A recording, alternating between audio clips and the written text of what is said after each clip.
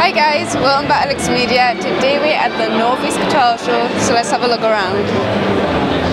Alright, so I'm here with Simon from Gillett Guitars, so let's have a look at what you have here. Okay, well we've got a range of, of bass guitars. We started Yeah. off doing basses.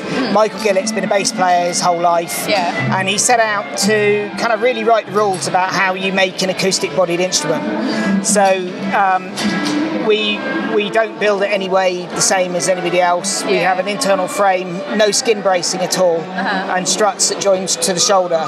That makes the skins resonate much more freely, gives a much warmer, much more double bassy sound, which is kind of what he set out to do. Yeah. It's also short scale, but with extra long. We have diagonal through body stringing, um, which I can just show you. So the strings pop out at the back there, Oh yeah, um, which gives you um, the comfort of playing with a short scale, but really good sustain and string tension from having extra long strings. yeah, So we started off doing about four years ago doing the, the basses, and um, last summer we created our first guitar. yeah, And we, again, we tried to rewrite, learn what we've learned from doing the basses. Uh-huh. it has the same kind of internal structure, um, but it's a, it's a lot lighter, um, and it's got um, single coil and a, and a humbucker. Yeah. So it can, it, it can be a good electric, but it's also got a piezo and a bridge that picks up all the acoustic tones. Uh-huh. So it can be a good acoustic, plugged-in acoustic, Yeah. and you can blend the 2 Uh-huh. and then it becomes a hybrid.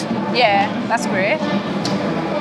Yeah. So when you did, you started doing the basses four years ago. Yes. Um, and then you started doing the guitar.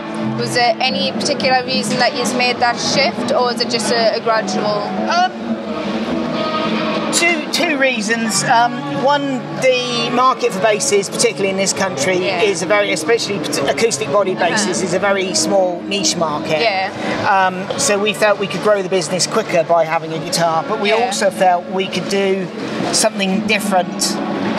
Um, bring something different to the marketplace um, that hopefully people will like and um, you know they'll find it useful. Yeah.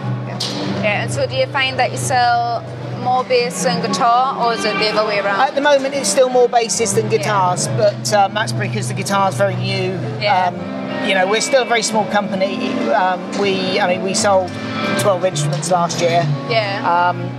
and two of those were guitars. Uh-huh. Hope, hopefully, this year, you know, things will, will start to change around. yeah. So how and we'll long? grow. How long does it take to make an instrument? Difficult question. Hate that question. Um, we we use. Um, I mean, there's about 25 hours in the workshop assembling parts and hand finishing. But we to make our instruments um, consistent and, and, and of a high quality. Yeah. We employ sort of as many modern techniques as we feel are appropriate. So I mean, the the shoulders are um, five-axis CNC routed Yeah. the, the skins are, are laser cut. Um, so really, where, where our kind of skill comes in is well, designing all the parts to start with, Yeah. but also then putting them together in a really precise, consistent way. So you know, you get you know quality instrument at that, that you know that price Yeah. range it should be. You know. Great. All right. So that's it for now. Check out Gillett Guitars, and you guys have a Facebook page, don't you? We do have Facebook page, yeah, and we're about to within the next week or so we're about to launch a new website as well, which has uh, an online Yeah. selling facility. So- Right. That will be in the description. Make sure to check them out.